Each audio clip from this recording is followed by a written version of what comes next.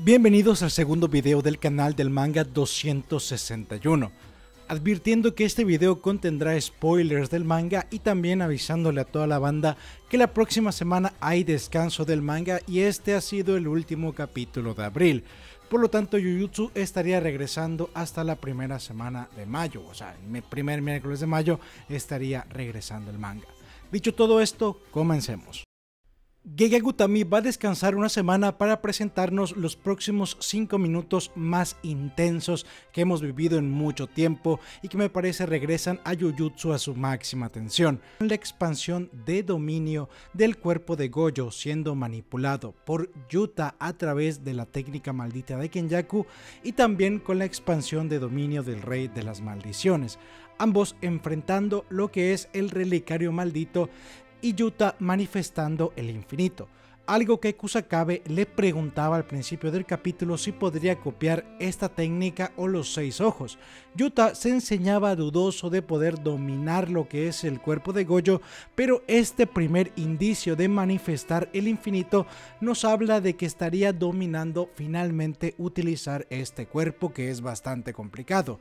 Y es que una temática o al menos un conflicto importante es qué ocurrirá después de esos 5 minutos. El infinito lo utiliza Goyo en Shibuya poco antes de ser sellado en el Gokumonkyo y también encontrarse al mismo Kenyaku en ese minuto, acá había un énfasis en el minuto de sorpresa, es decir, la reacción del cuerpo de Goyo al volver a ver al verdadero cuerpo de Suguru Geto.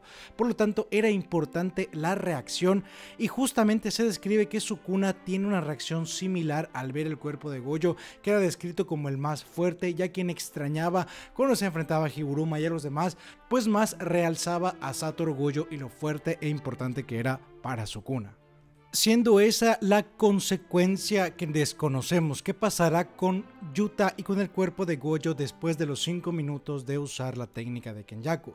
Un suscriptor pregunta si ocurriría lo mismo que pasó con Toji Senin en Shibuya. Hay que pensar precisamente en eso. Toji Senin no estaba en Shibuya, fue invocado de alguna manera a través de un tercero, de un tercer cuerpo que servía pues como base.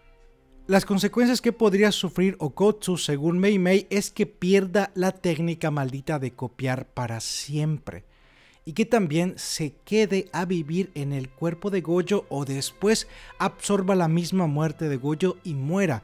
Por lo tanto, esa técnica podría ser fatal para Okotsu ya que no es únicamente los 5 minutos de replicar la técnica maldita de Kenjaku, sino que también tiene que usar la técnica inversa durante esos 5 minutos para mantener unido el cuerpo de Goyo.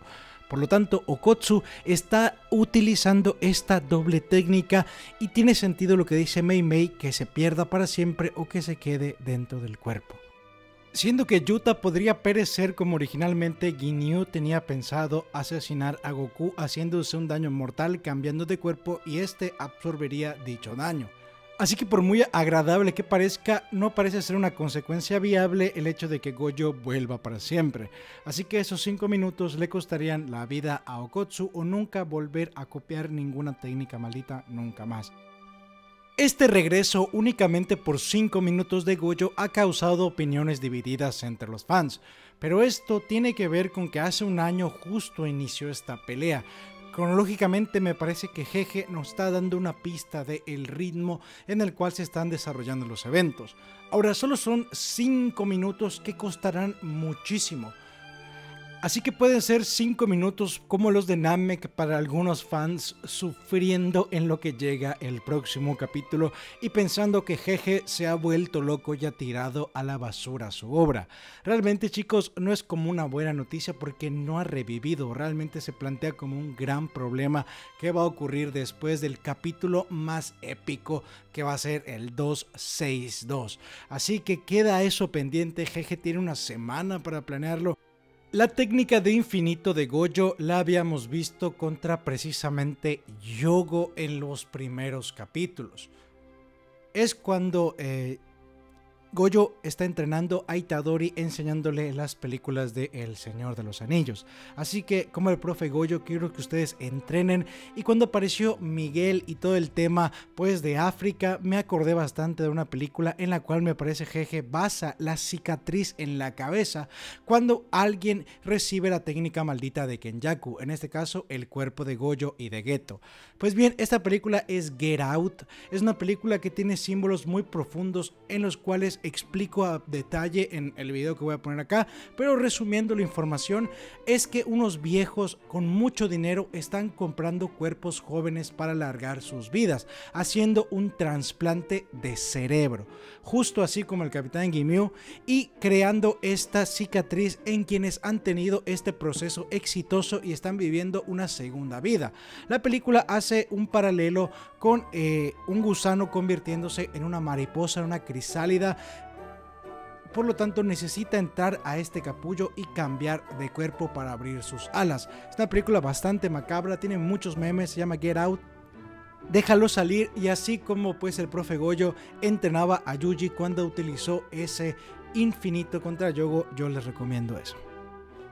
El capítulo finaliza así con un cliffhanger, con un gancho hacia el siguiente, cuando expanden ambos su dominio, dejándonos a la imaginación lo que ocurrirá en los siguientes 5 minutos, por lo cual te invito a debatir y comentar. Y también te invito a ver los demás videos analizando porque le he atinado a algunas cosas. Muchas gracias y por favor apoya el canal suscribiéndote si te gusta puedes estar informado y también el tipo de narración. Yo soy Kakashi y estamos al pendiente.